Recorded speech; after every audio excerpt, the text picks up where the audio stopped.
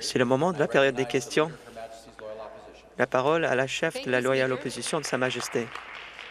Merci, Monsieur le Président. Ma première question ce matin s'adresse au Premier ministre. Hier, un autre expert de l'équipe du gouvernement sur la COVID-19 s'est dit frustré par les mesures inefficaces et incohérentes du gouvernement et il s'est dit préoccupé qu'il a dû euh, signer une, un accord euh, lui interdisant de parler? Est-ce qu'il y a une raison pour laquelle cette obligation de silence a été euh, mise en place? Ou est-ce que le Premier ministre veut tout simplement que les gens ne savent pas qu'il ignore les experts? La ministre de la Santé il n'existe aucun bâillonnement. Nous avons été très, très transparents quant aux informations fournies. Nous faisons des conférences de presse au quotidien. Dr. Williams est là deux fois par semaine. Les informations que nous avons sont aussi accessibles au public. Donc, les membres de la table de mesures sanitaires fournissent leurs conseils et nous en sommes reconnaissants. J'ai une nouvelle pour la ministre et pour le Premier ministre. Les gens savent très bien que le gouvernement n'est pas transparent et cela crée un problème pour les familles. Le Premier ministre a dit que les experts soutenaient, soutenaient son plan malgré le fait que ces experts avaient l'impression que son plan était irresponsable. La COVID-19 touche les vies de tout le monde dans cette province et les gens ont droit aux mêmes informations que le Premier ministre pour ce qui est des questions de la sécurité de leur famille. Et les gens ont droit de savoir euh, quand le Premier ministre ignore ses conseils. Et donc, le Premier ministre mettra-t-il fin à cette ordonnance imposant le secret et est-ce qu'il rendra hum, public toutes les informations que possèdent les ministres?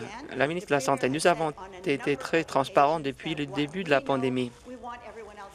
Le Premier ministre a dit à maintes reprises qu'il veut que le public ait accès aux mêmes informations que nous. Les gens donc peuvent comprendre pourquoi nous prenons certaines décisions. C'est important de comprendre que les membres de, de la table de commandement n'ont pas signé une ordonnance imposant le secret. Il y a une personne qui parle au nom de ces experts. Cela se passe dans les sociétés privées et dans d'autres entités. Nous, nous recevons les conseils du Dr Williams et c'est comme ça que, que fonctionnent les systèmes et nous suivons ce processus depuis le début. Complémentaire final, la transparence aurait dû être l'objectif, mais manifestement, ce n'est pas l'objectif du gouvernement qui ne fait pas preuve de transparence. Le Premier ministre insiste sur le fait que toutes ces décisions ont l'appui du médecin hygiéniste en chef, mais on a du mal à euh, lui faire confiance quant à cette affirmation. Des seuils trop élevés ont été mis en place pour euh, classer des régions comme régions en zone rouge.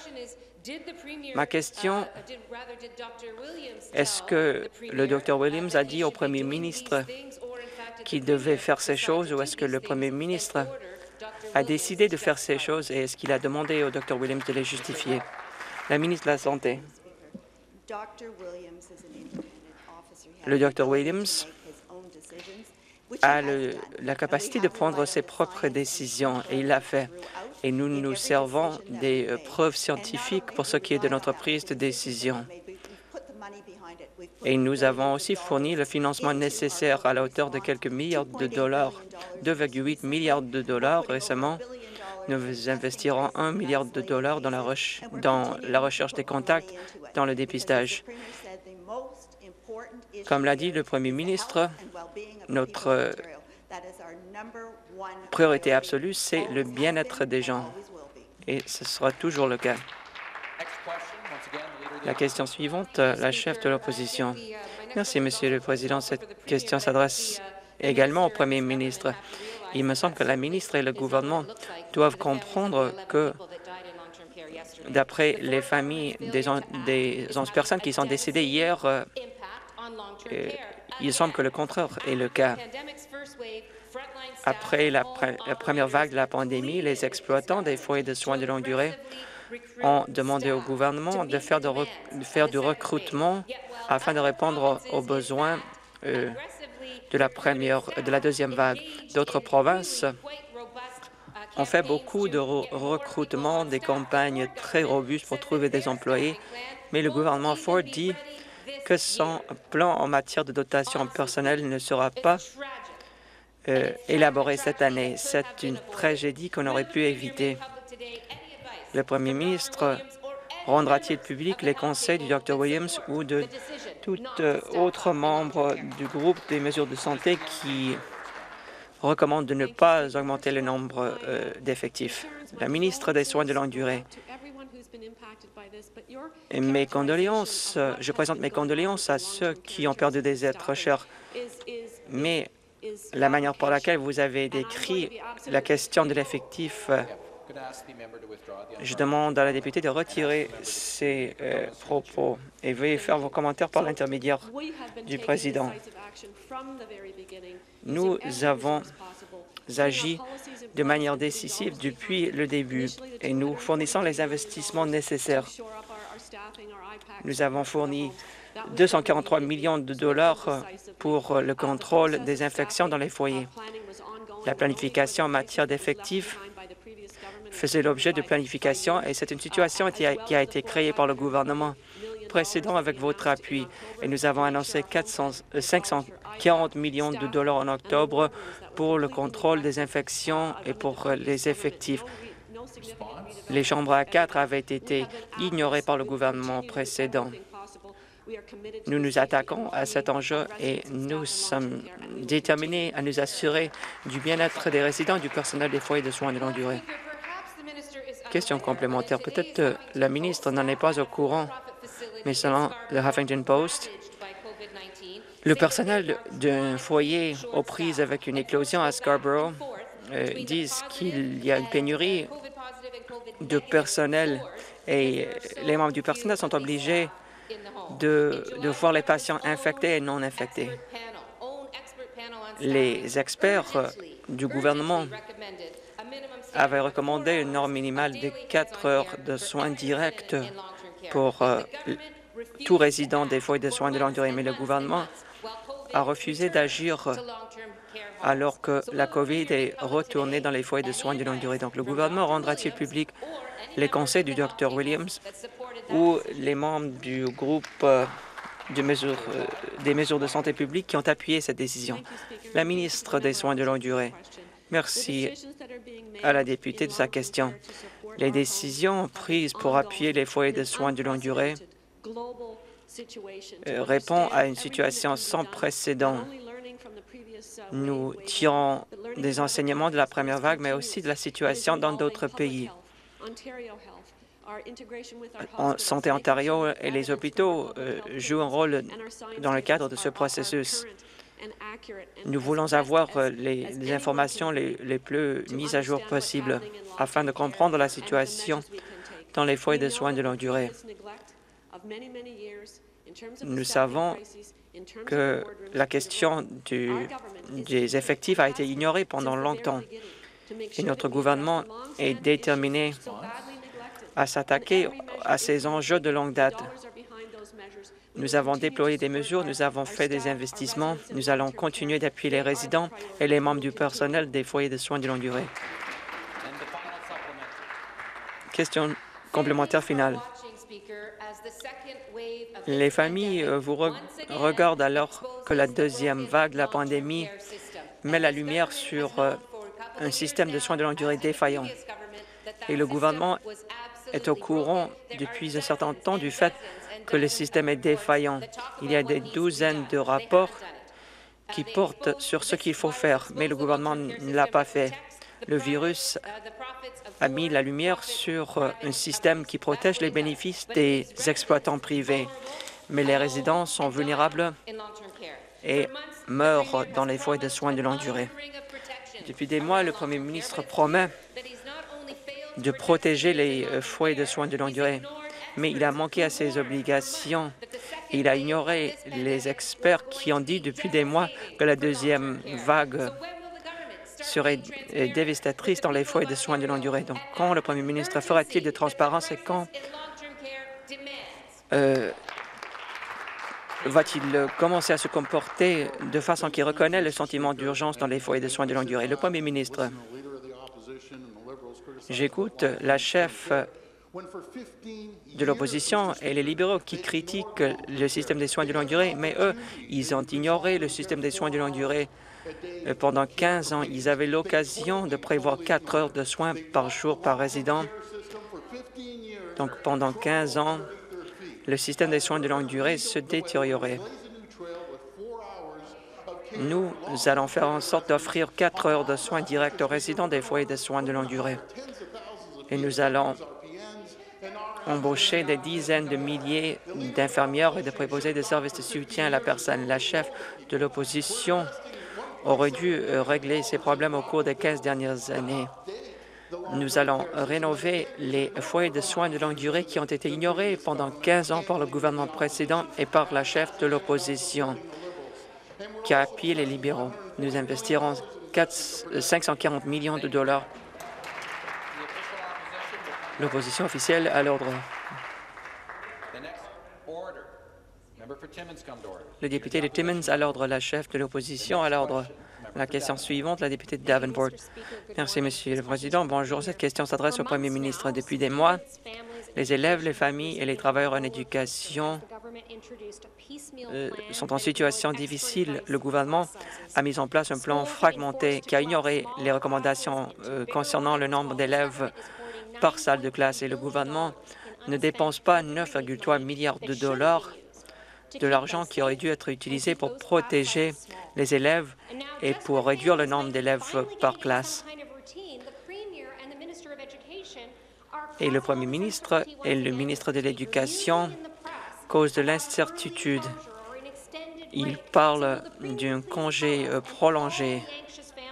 Donc le Premier ministre est-il prêt à fermer les écoles plutôt de plafonner le nombre d'élèves par classe à 15?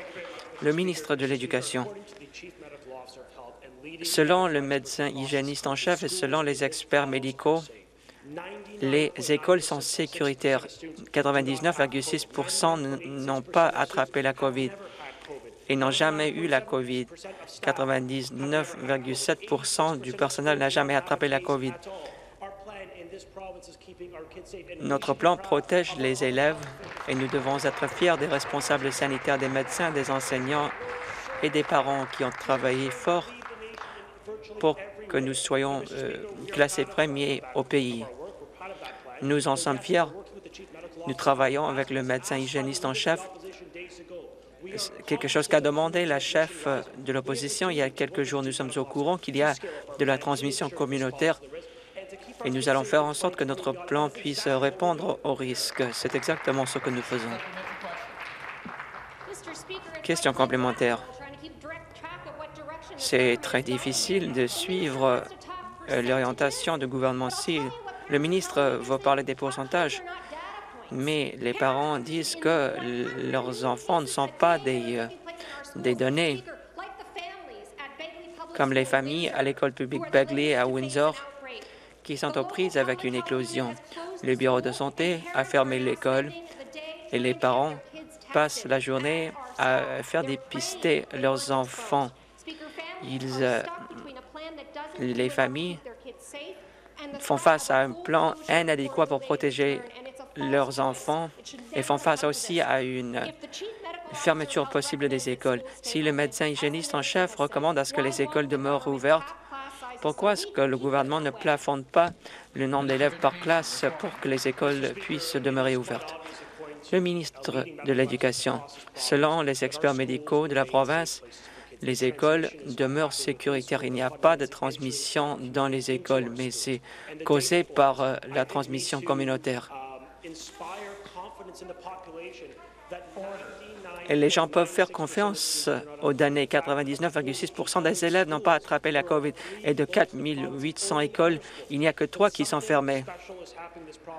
Cela met en évidence euh, l'excellent travail du personnel des écoles. Si on compare notre plan à celui du Québec, 21% des cas au Québec euh, viennent des écoles, mais c'est 7% en Ontario. Et ils ont un million d'élèves de moins. Ce n'est pas en raison de nos efforts, mais c'est en raison des efforts euh, des enseignants et de nos experts médicaux. Nous allons euh, protéger tous les élèves et tout le personnel en Ontario. Question suivante, la députée des Tobacco Lecture. Merci. Au fil des ans, bon nombre de gens m'ont dit que l'Ontario, c'est un excellent endroit où investir et où créer des emplois. Mais malheureusement, les entreprises se sont, installées ailleurs en raison des tarifs d'électricité trop élevés. Et pourquoi? Car euh, les contrats euh, d'électricité euh, signés par le gouvernement précédent ont miné les efforts des entreprises. Un employé de Coding Limited a dit « Je paie 19 cents la kilowattheure. L'électricité est la troisième dépense de notre entreprise, donc il est très difficile d'être compétitif. Selon le Fraser Institute, les tarifs d'électricité très élevés signifient la perte de 75 000 euh, emplois depuis la récession de 2018. C'était tout un enjeu avant la COVID-19. Monsieur le Premier ministre, le gouvernement, qu'a fait-il pour prévoir un allègement financier pour les entreprises? Le Premier ministre, merci à la députée du Tobacco Lakeshore.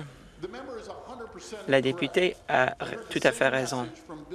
J'ai entendu le même message des entreprises qui pensent à peut-être s'installer en Ontario. Mais sous le dernier gouvernement et sous le NPD, les tarifs ont augmenté de 118% entre 2008 et 2019. La chef de l'opposition trouve drôle que nous baissons les tarifs d'électrice pour les entreprises, mais les entreprises euh, ne sont pas d'avis. Nous avons hérité du chaos, du chaos créé par le gouvernement précédent. Nous allons permettre aux clients euh, commerciaux de réaliser une économie de 14 sur les factures d'électricité. L'Ontario aura des tarifs d'électricité plus compétitifs que la moyenne américaine. Finalement, après 15 ans, nous nous attaquons aux tarifs d'électricité. Question complémentaire. Merci, Monsieur le Président. Ma question complémentaire s'adresse au Premier ministre. Le moment est venu de créer des emplois en Ontario. Notre gouvernement est fier des mesures déployées pour s'attaquer à cette crise. Nous avons abrogé la loi sur l'énergie verte. Nous, nous nous sommes débarrassés des contrats euh, d'électricité gaspilleurs. Euh, donc, euh, cette annonce signifie des économies pour mes commettants et pour les gens à l'échelle de la province. Un fabricant de pièces automobiles de ma circonscription pourrait réaliser 31 000 c'est-à-dire 382 000 par an. C'est pas mal d'argent. Grâce à notre plan, l'Ontario ne sera plus un territoire de compétences euh, non compétitif par rapport aux factures d'électricité, deviendra euh, un territoire de compétences très compétitif vis-à-vis des factures d'électricité. Le Premier ministre peut-il nous parler de la réaction des entreprises à cette proposition? Le Premier ministre. Merci à la députée de sa question. Je me rappelle ce qu'avait dit le député d'Essex en 2017, et je le cite. Imaginez si l'électricité était un investissement stratégique pour euh, favoriser les investissements dans nos communautés. Ça serait excellent. La députée d'Oshawa, la députée d'Oshawa, qui a dit en 2015 qu'il y aura une réduction du nombre euh, d'emplois dans le secteur de la fabrication d'automobiles en raison du coût exorbitant de l'électricité. Les fabricants d'automobiles sont en plein essor J'aimerais citer Flavio Volpe, président d'une association de fabricants de pièces automobiles. Il a dit le suivant. Cela signifie une économie de 500 000 par an pour certains de nos membres. Mais non seulement il y aura des économies, mais nous allons aussi attirer de nouvelles entreprises.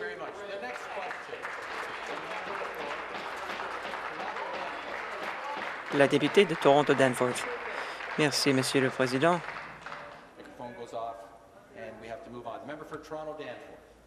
Le député de Toronto-Danforth. Ma question s'adresse au Premier ministre. Le rapport de la vérificatrice générale sur l'inaction du gouvernement dans le dossier de l'environnement est accablant. Le gouvernement ne suit même pas ses propres lois environnementales. Il évite la transparence et il rate ses propres cibles de réduction des émissions et il ne protège pas l'environnement. L'eau potable et l'air pur sont à risque. La vérificatrice générale ne mâche pas ces mots. C'est important à ce que nous parlions de cette non-conformité. Donc, selon le gouvernement, qui tirera profit de la destruction de l'environnement? Le ministre de l'Environnement, de la protection de la nature et des parcs. Merci, euh, Monsieur le Président, et merci aux députés d'en face de cette question. J'ai lu le rapport de la vérificatrice générale ce matin. Je la remercie de son travail.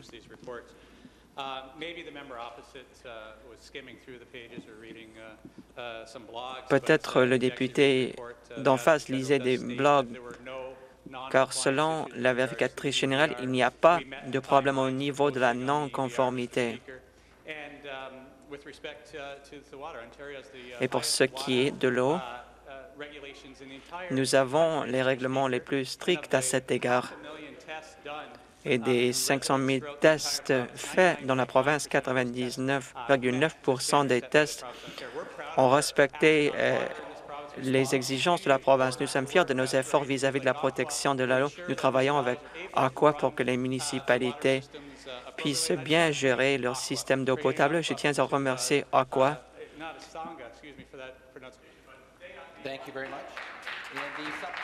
Question complémentaire. Au Premier ministre, les ministres ne devraient pas être fiers du travail fait.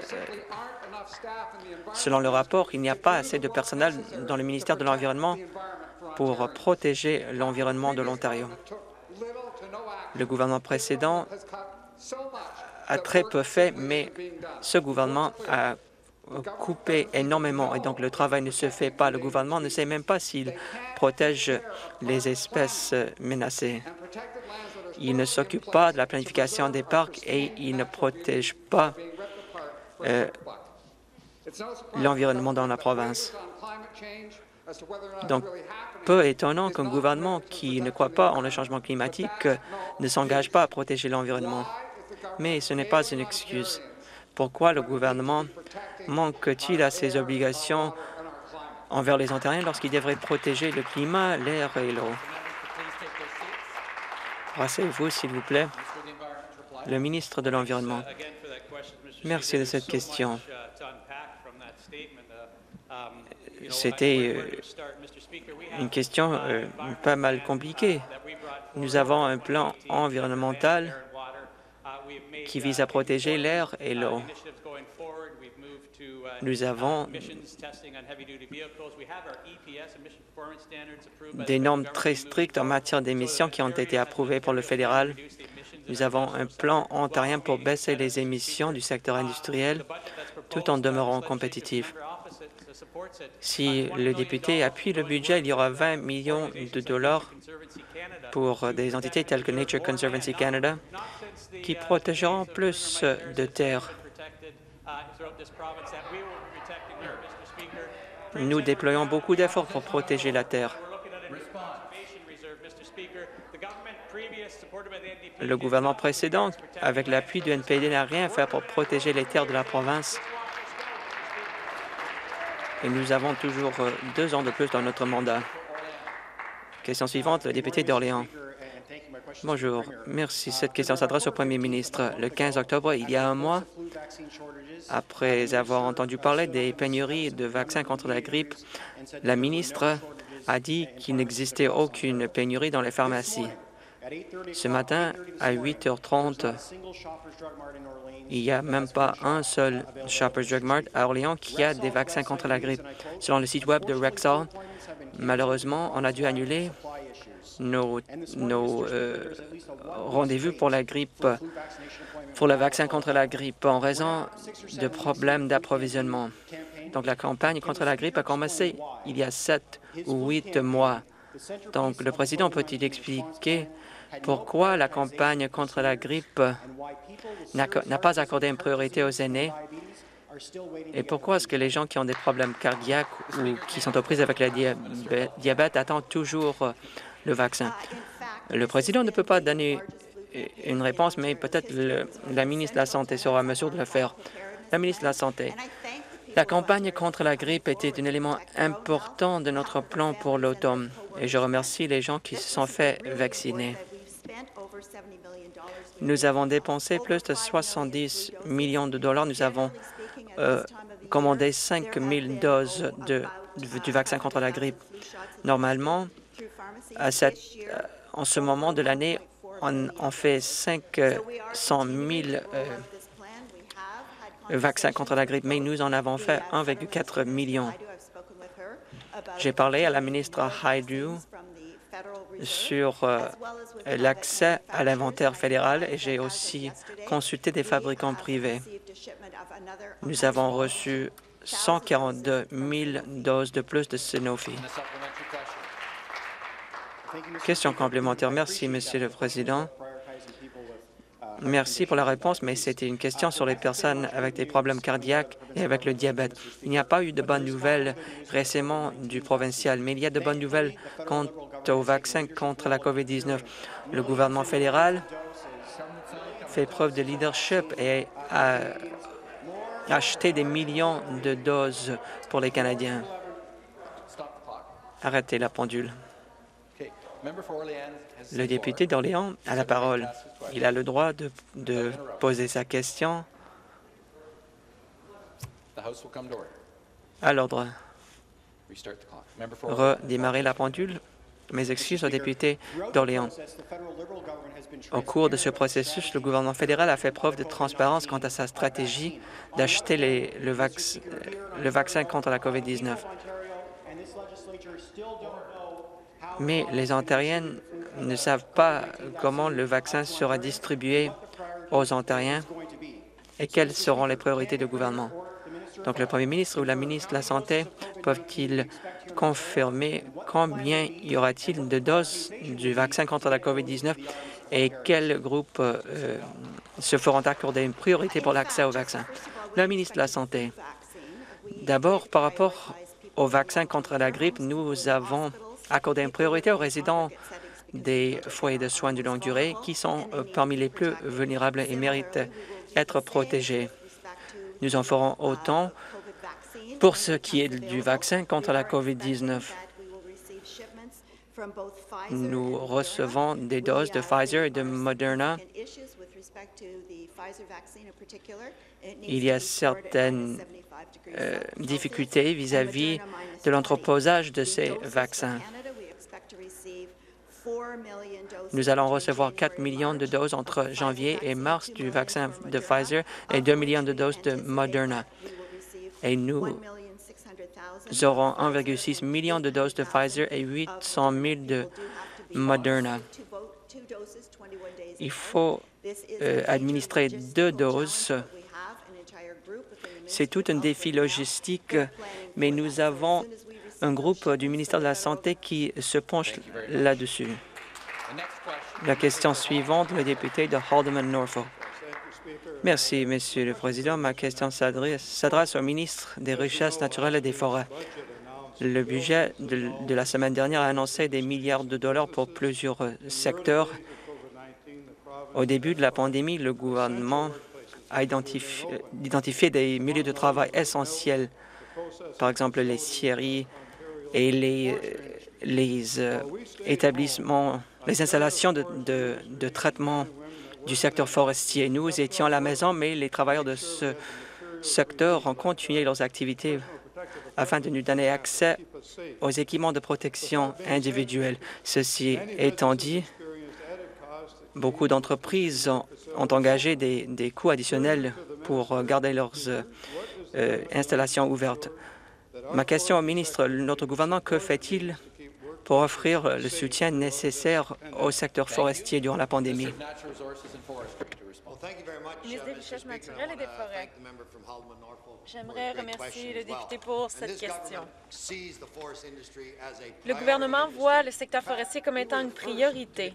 Nous avons été les premiers à le déclarer un secteur essentiel lorsque la pandémie a frappé. Nous voulons nous assurer que ces lieux soient sécuritaires. Nous avons investi 5,3 millions de dollars pour un fonds pour le secteur forestier. Cela faisait partie du budget. Ainsi, les participants admissibles qui font partie de PME pourront euh, avoir euh, des fonds de 1 000 par exemple, pour les frais de nettoyage des EPI. Ce sera le cas en 2020 et en février 2021. C'est notre plus grande priorité. La santé et la sécurité est notre plus grande priorité. Nous voulons garder nos travailleurs du secteur forestier demeurent sécuritaires. Et ainsi, ce sera bénéfique pour l'ensemble de la province. Question supplémentaire? Merci au ministre pour la réponse. Je crois que c'est fantastique. Le gouvernement soutient le secteur forestier avec des fonds essentiels. Ce secteur un, a un rôle clé dans notre économie. C'est ainsi que nous pouvons continuer de fonctionner pendant la pandémie. Je l'ai vu dans le sud de l'Ontario. Je le vois dans ma circonscription, par exemple.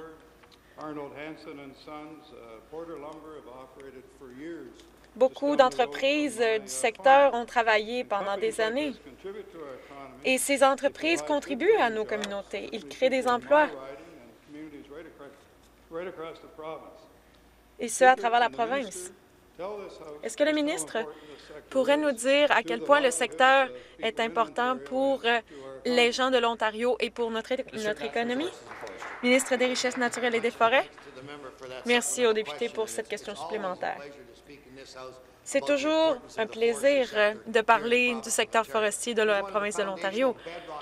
C'est un des secteurs piliers de notre C'est particulièrement vrai pendant la pandémie. L'industrie a un grand rôle à jouer par rapport euh, aux produits essentiels, par exemple l'approvisionnement alimentaire, la livraison de produits. Ce secteur est critique pour l'économie. C'est surtout le cas dans les communautés rurales et les communautés autochtones. Je viens de ces communautés, donc je sais à quel point c'est important. Cela génère 18 milliards de dollars on soutient 147 000 emplois de Toronto à Timmins. Ce secteur est critique pour nous aider à traverser la pandémie. Nous allons notre gouvernement n'arrêtera jamais de travailler pour s'assurer que ce secteur a le soutien nécessaire. Question suivante, député de Niagara Falls. Ma question s'adresse au premier ministre. Le, gouvernement, ou plutôt le, le gouvernement a fait en sorte que les six personnes d'un foyer pouvaient aller au restaurant. Puis, par la suite, il a réduit à quatre personnes. Le premier ministre sait que Niagara est une région touristique. Nous nous basons sur nos restaurants. La majorité des entreprises sont liées à cela. Ces entreprises ne survivront pas sans soutien financier. Le gouvernement a le pouvoir entre ses mains. Est-ce que le gouvernement va dire aux restaurateurs de Niagara et offrir des fonds d'urgence pour que les restaurateurs puissent travailler en ce sens? Ministre du patrimoine, du sport, du tourisme, Niagara Falls est la plus grande destination touristique euh, au Canada. C'est pourquoi nous avons alloué des fonds plus tôt dans la pandémie. Nous venons d'annoncer que le gouvernement offrira 300 millions de dollars pour les entreprises dans les zones chaudes, par exemple Ottawa et Niagara. Je suis contente que le député parle du tourisme. Il fait partie du comité sur les dépenses, mais il ne m'a jamais parlé de la situation à Niagara. En fait, j'ai dû appeler le maire de Niagara pour que, lui faire savoir que ce premier ministre et ce gouvernement soutiennent Niagara Falls. Question suivante. Ma question s'adresse au premier ministre, pas la ministre. Encore une fois, au premier ministre, les restaurants et les bars euh, contactent les dirigeants et j'aimerais parler en leur nom.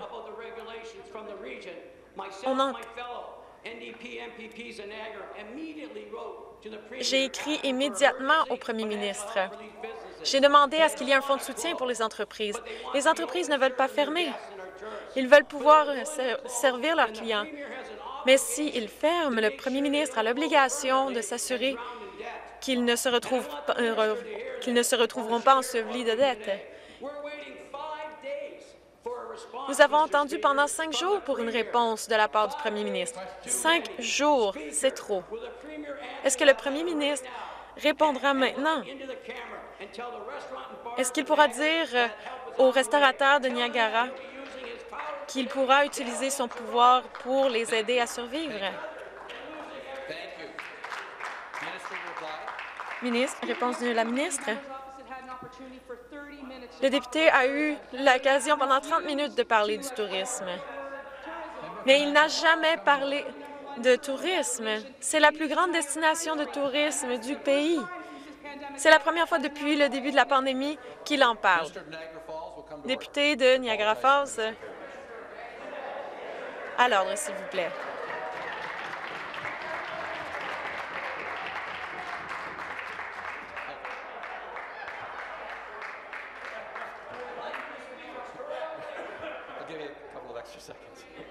Je vais vous donner quelques secondes de plus. Ministre du patrimoine. Maintenant qu'il est nommé ministre, peut-être que je peux lui poser des questions. Pourquoi est-ce que ça vous a pris autant de temps pour gérer ces problèmes après mois? De ce côté de la Chambre, le gouvernement s'engage à ce que les restaurants et les hôtels euh, puissent continuer de, de, puissent survivre après la COVID-19. Nous allons continuer de nous impliquer avec les communautés. Nous allons continuer de collaborer avec les agences impliquées. Encore une fois, je veux dire que le ministre des Finances a, dit que nous allions offrir des millions de dollars pour soutenir ces entreprises. Député de Glengarry. Président, ma question euh, s'adresse au premier ministre. The premier says the buck stops with him. He says he's sparing no expenses. Il dit qu'il dépense sans compter. Il dit qu'il a à cœur les foyers de soins de longue durée. Ma question est simple. Pourquoi ne l'a-t-il pas fait? Ministre de la Santé, il l'a fait. Le premier ministre l'a dit depuis le début. La santé et la sécurité des Ontariens sera toujours notre plus grande priorité. Nous avons étudié et nous avons écouté la science et les conseils. Nous avons écouté les conseils du Dr Williams par la table de commandement de la santé et tous les gens derrière, car il y a des douzaines et des dizaines de physiciens qui travaillent. C'est sur quoi nous basons nos décisions. Nous allons continuer de le faire. Ce sont les gens sur le terrain qui savent ce qui se passe. Nous, nous les avons toujours écoutés et nous continuerons de le faire. Question supplémentaire? Encore au premier ministre. Il y a une augmentation des cas en Ontario. Pourtant, il n'y a pas de communication par rapport au nombre de tests. Il faut que les journalistes sachent que l'information est partagée. Ma question est simple. Pourquoi est-ce que le ministre ne, euh, ne parle pas de ces informations essentielles lors du rapport quotidien? Réponse. Ces réponses sont offertes sur notre site de la COVID. Toute l'information nécessaire, le nombre de cas, le nombre de décès, je ne pense pas que ce sont le genre de choses qui devraient être partagées sur des, euh, Twitter. Cela affecte des familles. Il ne faut pas tweeter par rapport à ce sujet. Question suivante. Député de Mississauga. Ma question s'adresse au président du Conseil du Trésor. La COVID-19 euh, a, montré que les programmes essentiels doivent être plus, plus abordables et plus, plus efficaces. Récemment, nous avons lancé un plan en ce sens. Nous voulons lutter pour les gens de l'Ontario. C'est une bonne nouvelle. Les, les, services plus efficaces sont toujours bien accueillis.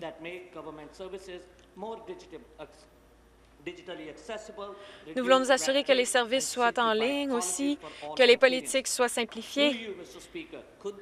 Est-ce que le ministre pourrait dire à la Chambre et à tous les Ontariens quels sont les avancements faits dans, le public, euh, euh, dans les services publics? Ministre du Conseil du Trésor, merci aux députés pour la question. De plus en plus de gens ont accès aux services en ligne. Nous devons en faire de la sorte, nous aussi. Nous voulons donc euh, améliorer les programmes et les services. Nous voulons que, y ait, que ce soit une expérience positive pour les Ontariens. Nous avons dû accélérer et innover notre approche à cause de la COVID-19. Lors du budget de 2020, nous avons annoncé un investissement de 5 millions de dollars pour des fonds accélérés. Les fonds seront réinvestis dans les publics services et les services publics plutôt. Nous modernisons également nos programmes et nous continuerons de le faire. Merci. Question supplémentaire? Je suis content de voir comment l'Ontario travaille avec, les avec ses partenaires. Le gouvernement priorise les programmes et les services qui ont un impact sur la vie des gens. Je suis sûr que ce fonds permettra de transformer les services.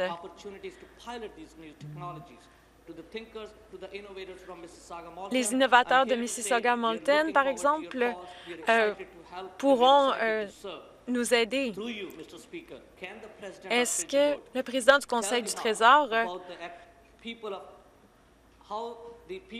peut nous dire comment les gens de l'Ontario peuvent avoir accès à ces fonds. Président du, Conseil du Trésor, j'aimerais remercier le député pour cette question. Le monde a changé.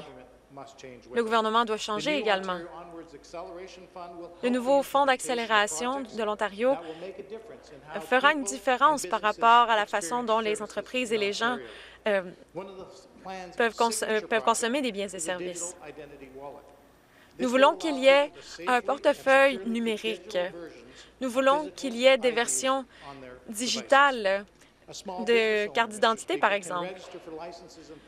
Le propriétaire d'une PME pourra ouvrir un compte en ligne. Les agriculteurs euh, pourront renouveler des permis en ligne aussi. Nous étendons le nombre de programmes disponibles en ligne. Nous simplifions le rôle du gouvernement et nous mettons les gens au centre de nos décisions. Député de Beaches East York, ma question s'adresse au premier ministre. Bon, le projet de loi de 83 a, a été adopté à la deuxième lecture. Beaucoup de députés, dont le ministre de l'Éducation, ont parlé en faveur de cela. Pourtant, le premier ministre est prêt à donner le droit à un islamophobe reconnu, le droit d'émettre des des diplômes. Le massacre des, le massacre des, de musulmans dans des mosquées et nous le, euh, nous le prouve, il y a un problème. Cela sera une attaque contre les musulmans. Que fera les ministres, ministres des collèges et des universités? Merci, Monsieur le Président. Il n'y a aucune place pour l'islamophobie ou l'homophobie dans cette province. Mais il y aura toujours une place pour la loi, la Charte des droits et libertés. Cela requiert la justice, l'égalité, la justice fondamentale. Je ne, vois pas ce que la, députée ne comprend pas. Il semblerait qu'ils veulent faire de la, de la politique. Je vais demander au ministre de retirer son commentaire. Oui, sans problème. Je dois dire, je ne comprends pas ce qu'ils veulent. En bout de ligne, ils, ils comprennent le processus. Ils savent que la justice est importante. Question supplémentaire? Je sais que ce n'est pas par rapport à la procédure. Le, le projet de loi veut s'assurer qu'il n'y ait, qu'il n'y ait pas de problème si le premier ministre euh, n'est pas d'accord, il, devrait enlever l'annexe 2 du projet de loi. Charles McVitie est transphobe et islamophobe. Il a parlé contre les personnes queer et ses curriculums scolaires euh, iront en ce sens. Je suis la mère d'une fille, fille trans. Je ne pourrais pas être plus fière d'elle, mais je suis aussi terrifiée par rapport à l'attitude transphobique. Et je sais que d'autres parents et amis d'Ontariens trans se sentent, euh, vivent la même chose. C'est la semaine de sensibilisation pour les personnes trans. Comment est-ce que le gouvernement peut dire aux personnes trans qu'il est, qu'il est en accord, euh, euh, qu'il est pour ces personnes alors qu'il agit en sens inverse? Ministre des collèges et des universités. J'imagine qu'il y avait une réponse. C'est le point critique. L'opposition continue de nous demander d'interférer avec les règles. Il continue de nous demander d'interférer. Il continue de nous demander de restreindre les règles, mais nous ne pouvons pas interférer avec le processus. Le processus est mis en place d'une certaine façon. J'ai entendu la chef de l'opposition aujourd'hui parler de transparence. C'est la plus grande, euh, c'est le plus meilleur exemple de transparence qu'il y a. Cette école fait une demande pour, à un comité indépendant. Et maintenant, nous le mettons en législature, dans la législature pour que ce soit fait de façon équitable. Alors, question suivante, député de Cambridge. Merci. Ma question s'adresse à, la solliciteur générale. Élections Canada a dit qu'il voulait changer euh, les systèmes de vote.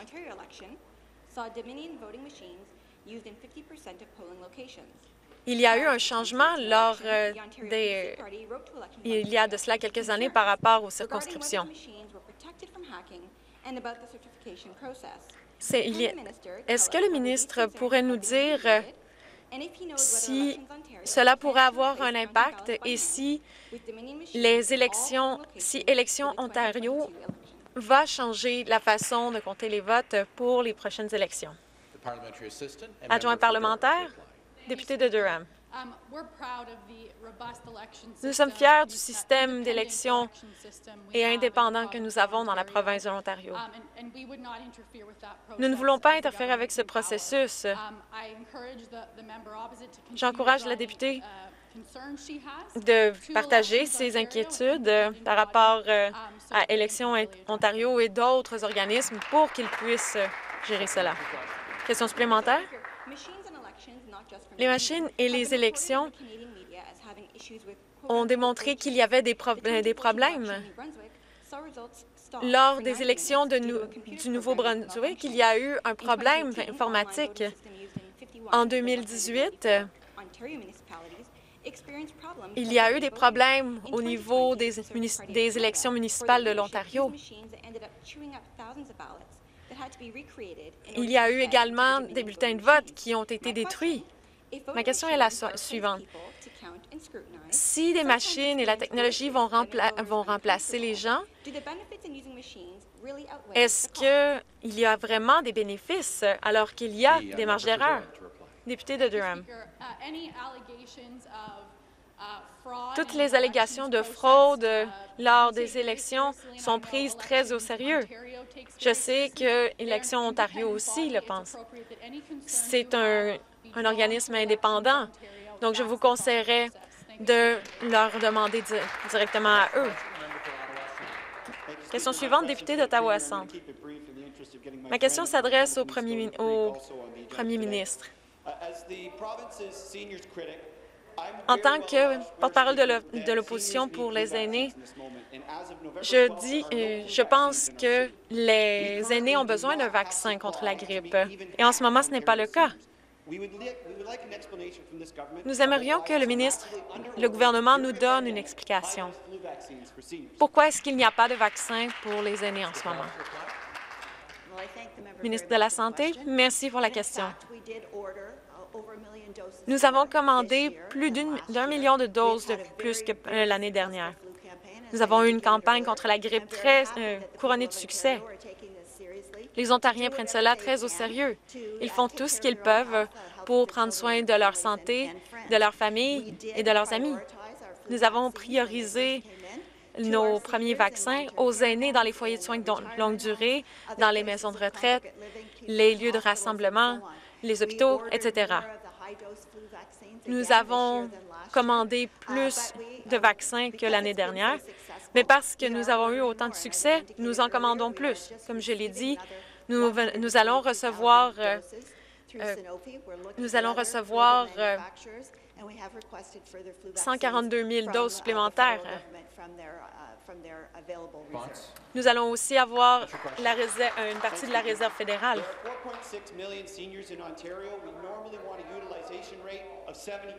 Normalement, 70% des doses sont allouées aux aînés. En ce moment, ce n'est pas le cas.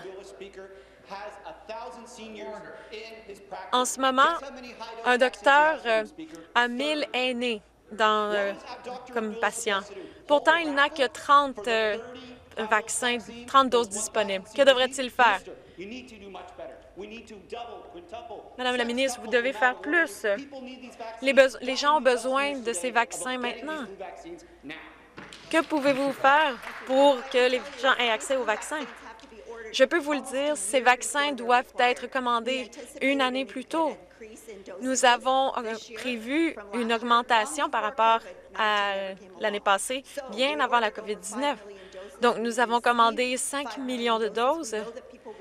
Nous savons que les gens en veulent plus et nous travaillons sans relâche pour en trouver via, euh, grâce au gouvernement fédéral mais nous avons aussi reçu 142 000 doses de Sanofi et nous travaillons aussi avec d'autres producteurs pour avoir plus de doses, car nous savons que les gens en ont besoin. Donc, nous faisons de notre mieux pour et nous cherchons littéralement partout à travers le monde pour avoir plus de doses. Question suivante. Député d'Ottawa-Vanier. Merci, Monsieur le Président. Ma question s'adresse au ministre de l'Environnement. Le conseil les conseils municipaux peuvent élire certains, certaines personnes. Pourtant,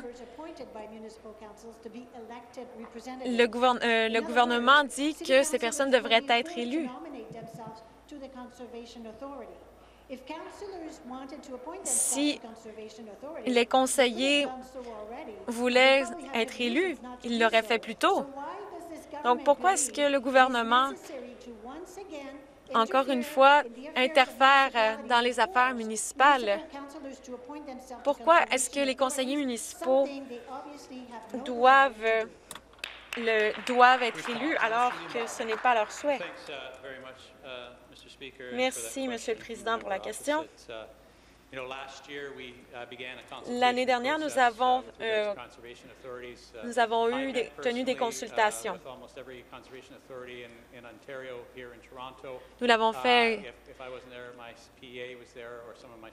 J'avais des employés qui travaillaient à ce moment-là. Nous avons donc tenu de grandes plusieurs consultations. Les gens se sont ont parlé par rapport aux autorités de la conservation.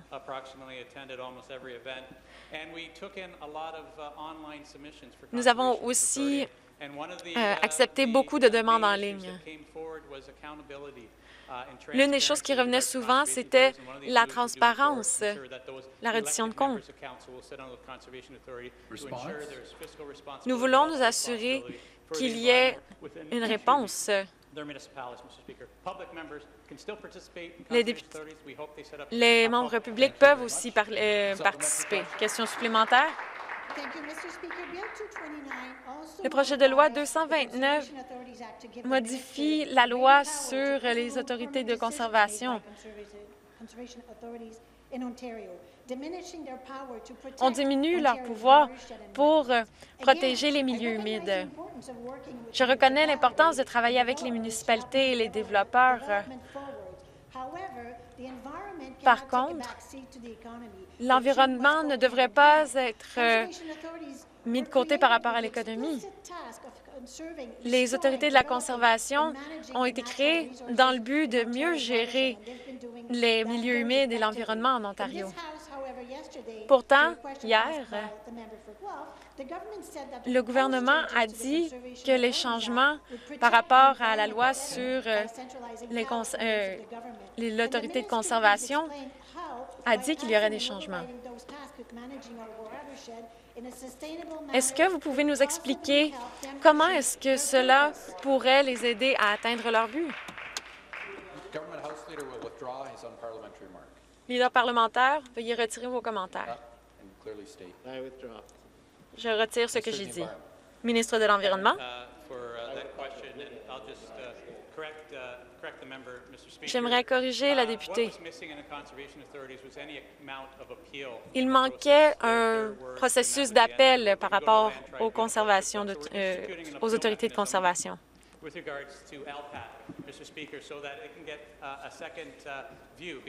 Il ne pouvait pas y avoir de deuxième opinion. Il manquait de, euh, de constance. Certaines autorités allaient au-delà de, des règles et ils instauraient leurs propres règles et ce n'était pas correct. Le ministre des Richesses naturelles peut émettre un permis, mais il doit suivre les mêmes règles de l'annexe 28 et nos scientifiques ici regarderont cela. La députée veut savoir si nous allons changer les protections pour s'assurer que leur chef puisse contourner les règles, mais nous ne voulons pas que cela se produise. Nous allons arrêter cela. Merci. À l'ordre. Question?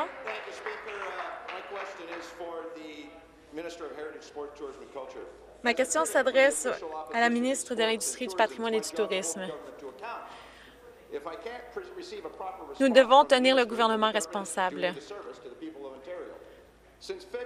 Depuis février, avant le confinement du mois de mars, j'ai travaillé avec des organisations sportives.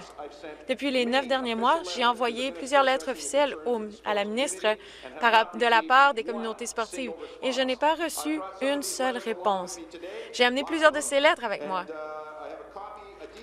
J'en ai une copie détaillée. Je l'ai soumise au ministre. Puis, je n'ai pas entendu, je n'ai jamais eu de réponse. Reformulez votre question. Pourquoi est-ce que vous refusez de répondre à mes requêtes? Est-ce qu'on lui a demandé de ne pas requête? La Chambre dit que nous voulons coopérer. Eh bien, je ne pense pas que ce soit le cas. Ministre de l'Industrie, du patrimoine et du tourisme.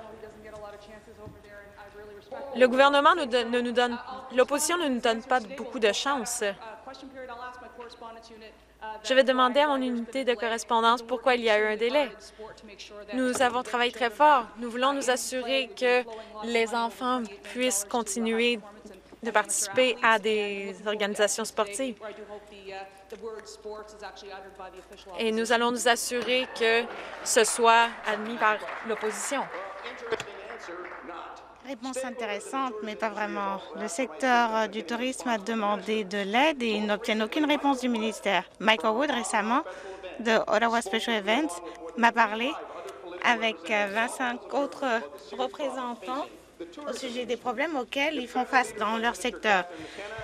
Le, ministre McKenna au fédéral et Fortier ont pris le temps de leur parler. Alors pourquoi est-ce que nos ministres n'ont pas donné le même soutien? Ce portefeuille représente des milliards de revenus et offre des milliers d'emplois pour les Ontariens.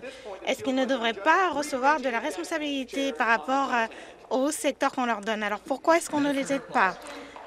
Réponse du ministre. Si le député a suivi le portefeuille, il saurait que j'ai eu 12 appels de conférences partout dans la province et j'ai voyagé et exploré plusieurs endroits, comme sa propre ville, où j'ai été présente pour annoncer de l'argent pour la galerie euh, de Hamilton, la galerie d'art d'Hamilton.